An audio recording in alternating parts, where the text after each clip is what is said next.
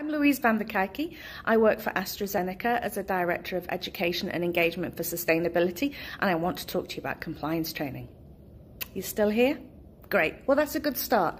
You know, it's never been a better time to talk about compliance training. We know so much more about good learning and we've got so much technology available at our disposal and that's what I want to talk about at LearnTech this year. Compliance talks to the heart of the ethics of a company, and that's really important.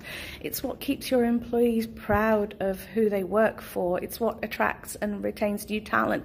And actually, learning within L&D has a really important role in getting that message across. So let's look at how we can utilize technology to take compliance out of the training room, to think of something different than those click next pieces of e-learning, to see how we can maximize engagement and those feelings. The three main topics that I'll be covering are the importance of positive tones, um, the impact that storytelling can have, particularly stories from within your organization, um, and also the power of doing something different, the power of social.